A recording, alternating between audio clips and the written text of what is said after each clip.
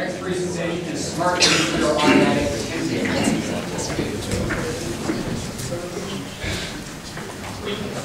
Good afternoon. Um, My name is Juliana Almeida. I was responsible for the software and the implementation of the analog to digital converter. And these are my partners, Catherine Duckworth, she was responsible for hardware and research. Carissa Roper, she was responsible for hardware and testing of our prototype. And Josiah Knowles, our system designer as well as software. Um, Our main goal this semester, as you can tell by the title of our project, was to design a screen that would automatically dim the car depending on the intensity of light coming to it. Now, unlike other products in the market, our screen would not dim entirely, but only the specific portion that was affecting the, the driver the most. So that way, it would not be just sunglasses for the car, but it would directly affect the part that's distracting the driver, such as direct sunlight or oncoming bright lights. Now, the way we did this was we had a photodiode circuit design that took in the voltage from various light levels. Now, it was the voltage along with the DC offset was then set to the ADC circuit that converted this to a six-bit digital value. The least three significant bits were used for scaling due to the short range of the photodiode voltage, and then set to the FPGA board that controlled the screen. Now, depending on the light level, the screen would dim to a certain, um, to a certain gray level with amount of red, green, and blue. Some of the design problems that we had were that the initial MSP430 internal ADC that we were using was unsuitable because of the short range of the photodiode. But next semester, we are planning on using it along with a positioning algorithm with multiple screens so that we will be able to just dim one screen at a time like our main goal.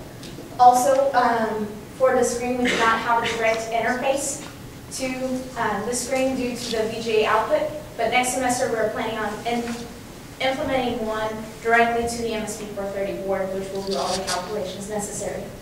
Also, the, we had to do a lot of synchronization between clocks of the different circuits to make sure they all work together to create a working prototype. Any questions? Any, any safety concerns about the level of dimming should be doing or distractions from the driver? Yes, um, next semester where you're putting in a user interface where the user, depending on their own sensitivity, they can increase or decrease the dimming. Also, we are gonna have a kill switch in case there are any problems with the power. And we have already tested it on outside of the sunlight, so it's not gonna be any further dimming than, so it's not gonna black out the entire screen. It's only gonna be up to a certain point that is legal right now. So you mentioned a pinpoint like like a headlight. How do you track, you know, where the driver's eyes line up with the spot on the windshield where the headlight's coming in? We're going to have a positioning algorithm that is going to be directed with the um, back um, of the driver's head, so that way it would be easier to track that. Also, there's going to be two different settings for day and night, so that way you don't dim it too much at night, that will also um, distract the driver even more. What's the FPGA doing that uh, a regular microcontroller can't do? The FPGA is uh, fairly ideal for controlling an LCD screen, which is what we're using it for right now. Eventually, the FPGA is actually going away, and we'll have a direct interface with the LCD, uh, sending a pulse code, a pulse width modulated signal to the screen from the uh, MSP430 itself. Thank you.